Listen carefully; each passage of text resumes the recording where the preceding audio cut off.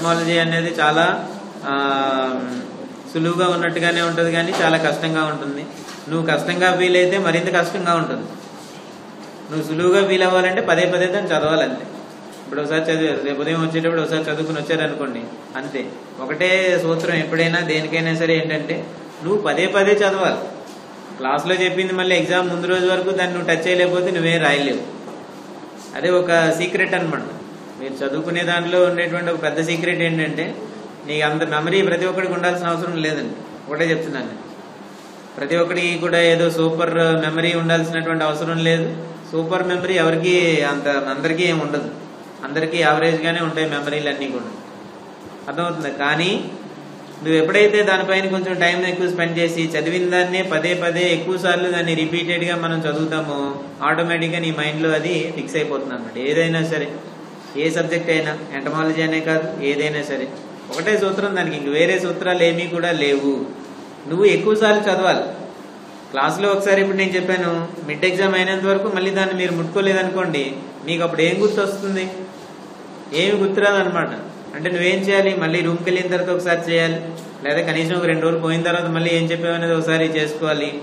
లేదంటే కనీసం వీకెండ్ వారం కంప్లీట్ అయిపోయిన తర్వాత అయినా ఒకసారి చదివితే మీకు చాలా వరకు విషయాలు గుర్తుంటాయి అన్నమాట. ఇది ఒక సీక్రెట్ అది. ప్రయోగాలు చేసి కనుక్కున్నారు. రిపిటీషన్.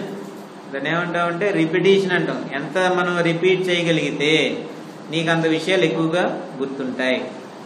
నువ్వు రిపీట్ చేయకుండా స్ట్రైట్గా నేను నాది సూపర్ బ్రెయిన్ పవర్ నాకుంది ఎలాగైనా ఒకసారి క్లాస్లో వినేసి రాసిస్తామంటే ఏం అవ- అవ్వదు క్లాస్లో వినాలి. క్లాస్లో విన్నదాన్ని ఒకసారి మళ్ళీ వెళ్ళి రివిజన్ చేయాలి. ఎప్పుడైతే నువ్వు అలా చేస్తావో మాక్సిమం విషయాలు మీకు గుర్తుంటాయి అనమాట ఎందుకంటే ఎంటమాలజీకి అది అవసరం కాబట్టి నేను చెప్తున్నాను. నువ్వు పదే పదే దాన్ని చదివితేనే కానీ ఎంటమాలజీ గుర్తుండదు. సైంటిఫిక్ నేమ్స్ చాలా ఉంటాయి. సడన్గా స్ట్రైట్గా మాట్లాడేమంటే ఎవరు మాట్లాడే లేరు. దాన్ని మళ్ళీ పదే పదే చదవాలి డిస్కషన్ చేయాలి మాట్లాడుకోవాలి. ఫ్రెండ్స్ అందరూ కూడా ఎప్పుడు ఖాళీగా కూర్చున్నప్పుడు ఆ సైంటిఫిక్ నేమ్స్ అన్ని మాట్లాడుకోవాలి. బయటికి మాట్లాడాలన్నమాట. అలా చూస్తూ ఉన్నంతసేపు ఏమీ కూడా మనకి గుర్తుండవు ఇప్పుడు ఉన్నాయి క్లాస్లో చెప్పాను అంతా మీకు అర్థమైంది.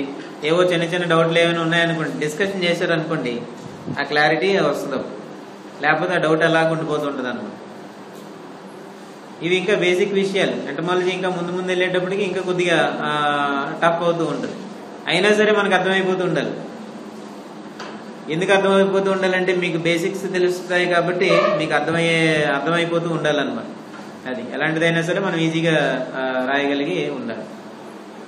ఇవి కొన్ని సూత్రాలు. ఈ రిపిటీషన్ అనే సూత్రాన్ని మీరు ఫాలో అవ్వండి అందరూ కూడా. ఎక్కడో దగ్గర రాసుకోండి రిపిటీషన్ అనేటువంటి సూత్రాన్ని మీరు ఫాలో అవ్వండి. రిపీట్ చేయడం. ఏదైనా సరే మనం విషయాన్ని రిపీట్ చేయడం. మీరు పాఠం చెప్పినప్పుడు ఎప్పుడైనా గమనించి ఉంటారు. నేను పాఠాలు చెప్పేటప్పుడు అంతా కూడా చెప్పిన విషయాన్నే పదే పదే రెండు మూడు సార్లు లేదా నాలుగు సార్లు అదే విషయాన్ని రిపీట్ చేయడం అనేది నేను చేస్తూ ఉంటాను అన్నమాట ఎందుకంటే మొట్టమొదటిసారి ఒక విషయాన్ని స్ట్రైట్గా వరుసగా చెప్పేసి అక్కడతో అది ఎండ్ చేసి మళ్ళీ వెళ్ళిపోయాం అనుకోండి అందరూ ఆ విషయాన్ని క్యాచ్ చేయలేకపోవచ్చు. అది ఆ విషయం అర్థం అవ్వకపోవచ్చు. అరవై మంది ఉన్నారంటే ఓ పది మందికి అర్థమయ్యి యాభై మందికి అర్థం కాకపోవచ్చు. సో రెండోసారి అదే విషయాన్ని మళ్ళీ మనం చెప్పేటప్పుడు అప్పుడు కొంతమంది కాన్సన్ట్రేట్ చేయొచ్చు ఆ పర్సంటేజ్ కొంత ఉంటుంది. అదే విషయం మూడోసారి మళ్ళీ మళ్ళీ మనం చేస్తున్నాం అనుకోండి అది మైండ్లో అలా ఫిక్స్ అయిపోతుంది అనమాట చెప్పిన విషయాన్ని మళ్ళీ మళ్ళీ మనం అలా చెప్తూ ఉంటాం. అది. సో ఇప్పుడు పాఠం ఉంది. ఇప్పుడు ఇలాగా నేను వస్తున్నాను చెప్తున్నాను. నేను ఏమైనా రాసుకున్నా లేకపోతే ఏదో చేసుకున్నా వచ్చానా? రాయలేదు. అంటే దాని అర్థం ఏంటనమాట పదే పదే చెప్తున్నాం. ఇప్పటికి అలా కొన్ని కొన్ని బ్యాచ్ల నుంచి అలా వరుసగా మొట్టమొదటి మొదటి మొట్టమొదటి క్లాసుల్లో ఆ బుక్స్ అన్ని తీసుకుని వచ్చి వాటిని అన్ని కూడా చూసి మళ్ళీ చెప్తూ ఉండేవారు. అంటే బేసిక్ విషయాల గురించి నేను చెప్తున్నాను. మామూలు రేపు మనం వచ్చిన తర్వాత చెప్తామనుకోండి చెప్తాం అనుకోండి సో ఏంటి? పదే పదే నేను ఆ విషయాన్ని మీకు అలా మీ సీనియర్స్కి వాళ్ళ సీనియర్స్కి వాళ్ళ సీనియర్స్కి అదే విషయాన్ని నేను పదే పదే చెప్పడం వల్ల ఏమైపోయింది?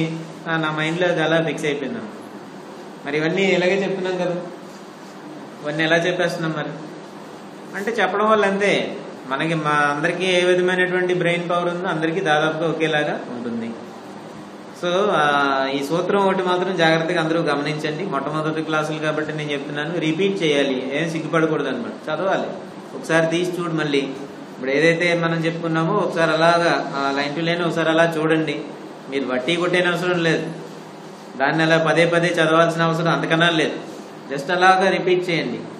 పెట్టేయండి పక్కన పడేయండి అంతే. మళ్ళీ రేపు ఉదయం లేకపోతే ఒక రెండు రోజులు పోయిన తర్వాత మళ్ళీ ఒకసారి దాన్నే తీసి మళ్ళీ ఒకసారి టచ్ చేయండి. మీరు అసలు మర్చిపోతే ఇదన్నమాట. అన్ని సబ్జెక్టులు అలాగే చేయాలి. అలా చేస్తేనే విషయాలు గుర్తుంటాయి. లేకపోతే ఏ విషయం కూడా గుర్తుండదు కన్ఫ్యూజన్ పెరిగిపోతుంది. ఎగ్జామ్స్ అంటాం. ఇక్కడ మన సిస్టంలో ఎలా ఉంటుందంటే సెమిస్టర్ అప్పుడే రిజిస్ట్రేషన్ చేస్తాం. రిజిస్ట్రేషన్ చేసిన పది రోజులు పదిహేను రోజులు ఇంకా రిజిస్ట్రేషన్లు అయినట్టే ఉంటే మిడ్ ఎగ్జామ్ వచ్చేస్తుంది. మిడ్ ఎగ్జామ్ అని ప్రకటిస్తారు. మిడ్ ఎగ్జామ్ అయిపోయి ఆ వారం రోజులు పరీక్షలు అవుతాయి. ఈ లోపు ఏదో ఒక అవి వస్తుంటాయి. అయిపోయిన వెంటనే మళ్ళీ ప్రాక్టికల్ ఎగ్జామ్స్ అంటారు. ప్రాక్టికల్ ఎగ్జామ్స్ వారం రోజులు జరుగుతాయి. ప్రాక్టికల్స్ ఎగ్జామ్స్ వారం రోజులు జరగగానే మళ్ళీ ఫైనల్ ఎగ్జామ్స్. అంతే సెమిస్టర్ అయిపోయింది. ఆరు నెలలు ఎలా జరిగిందో ఏంటో కూడా నీకు తెలియకుండానే అయిపోద్ది అనమాట ఇంకా రాసినవి రాసినట్టుగానే ఉంటాయి సబ్జెక్టులు కొన్ని అవుతున్నట్టే ఉంటాయి అన్నీ అయిపోతుంటే మరి ఫైనల్ ఎగ్జామ్స్ వచ్చేస్తాయి అనమాట అంత ఫాస్ట్గా ఇక్కడ జరిగిపోతుంది అందువల్ల ఏదైనా సరే మన కష్టంగా ఉండేటువంటి సబ్జెక్టుల్లో మనం చేయాల్సింది ఏంటంటే ఏదైతే మన క్లాసుల్లో చెప్పారో క్లాసుల్లో జాగ్రత్తగా వినాలి మీ అంతగా మీరు చదివేసుకోవడానికి ప్రయత్నం చేయని అవసరం లేదు. క్లాసులో మాత్రం జాగ్రత్తగా వినాలి. ఆ విన్నటువంటి విషయాన్ని పదే పదే మనం ఏం చేయాలంటే రిపీట్ చేయాలి. చదవండి. ఒక రెండు మూడు సార్లు అలా ఖాళీగా ఉన్నప్పుడు వాటిని అలాగే పదే పదే దాన్ని తిరిగేస్తూ ఉండండి. అలా తిరిగేస్తూ ఉంటే అవే మీ మైండ్లో గుర్తుంటాయి అనమాట చాలామందికి గుర్తుండటం లేదు అని అంటూ ఉంటారు. ఈ గుర్తుండటం లేదు అని ఎవరైతే ఫీల్ అవుతున్నారో వాళ్ళు చేయాల్సిన పని ఏంటంటే రిపిటేషన్ చేయాలి. నువ్వు మరీ బ్లైండ్గా కంఠస్థం చేసేయాల్సిన అవసరం లేదు. దాన్నే మళ్ళీ మళ్ళీ అలా చదువుకుంటూ ఉండాలన్నమాట. అంతే. ఆటోమేటిక్గా మీకు గుర్తుండే అది అలా ప్రాక్టీస్ చేసి చూడండి ఈసారి. ఈసారి ప్రాక్టీస్ చేసి చూస్తే దాని రిజల్ట్ బాగా మీకు కనిపిస్తుంది. అన్నమాట ఏంటి మన సూత్రం ఏంటి? రిపిటేషన్ పదే పదే చదవడం. ఎగ్జామ్కి వెళ్ళే టైం కల్లా ఎగ్జామ్ ఏదైనా అన్నారు అనుకోండి ఆ టైం కల్లా కనీసం దాన్ని చాలా ఎక్కువసార్లు చదివి ఉండాలన్నమాట. అంతే. ఎక్కువసార్లు చదివి ఉండాలి అంతే ఆటోమేటిక్గా మీకు ఆ విషయాలు ఏం మర్చిపోలేరు. ఉన్నది ఉన్నట్టుగా అక్కడ రాయగలుగుతారు. సో ఇవి ఎగ్జామినేషన్ సంబంధించినటువంటి కొన్ని టిప్స్ అనమాట దీనికి ఇవన్నీ అవసరం కాబట్టే నేను చెప్తున్నాను. ఎంటమాలజీకి ఇంత బేస్ ఉండాలి కాబట్టే నేను చెప్తున్నాను. ఎందుకంటే పాత బ్యాచెస్ కానీ మిగతా వాళ్ళకి కానీ మేము ఎలా చెప్పామో మాకు తెలుసు కాబట్టి ఇంత బేస్ ఉంటేనే తర్వాత ఈజీగా ఉంటుందని చెప్తాను. అందరూ ఫాలో అవుతున్నారని అనుకుంటున్నాను నేనైతే మరి. లేకపోతే ఏమన్నా డ్రీమ్స్లోకి వెళ్తున్నారా మధ్యలో? ఆ, వెళితే మరి ఇంకంతే తర్వాత లింక్ దొరకదు.